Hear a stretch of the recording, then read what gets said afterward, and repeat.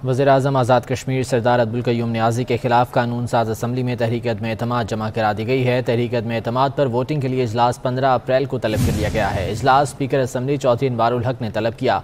वजी अजम के खिलाफ अदम अतमाद करने वालों में फ़हीम रब्बानी, माजिद खान, जावेद बट ख्वाजा फारूक, मोहम्मद रशीद, मलिक जफ़र समेत पच्चीस मेम्बरान शामिल हैं। ताहम इस कामयाबी के लिए मजीद दो वोटों की ज़रूरत है।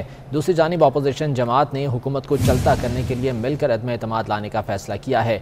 मीडिया से बातचीत कहते हुए पीपल्स पार्टी के शौकत जावेद मीर ने कहा कि तहरीक इंसाफ ने खुद ही अपनी हुकूमत पर अदम अतमाद कर दिया है। तहरीक अदम अतमाद पर वोटिंग के लिए इजलास पंद्रह अप्रैल को तलब कर लिया गया है। इजलास स्पीकर असम्बली चौधरी अनवारुल हक ने तलब किया। वजी अजम के खिलाफ अदम अतमाद करने वालों में फ़हीम रब्बानी, माजिद खान, जावेद बट ख्वाजा फारूक, मोहम्मद रशीद, मलिक जफ़र समेत पच्चीस मेम्बरान शामिल हैं। ताहम इस कामयाबी के लिए मजीद दो वोटों की ज़रूरत है।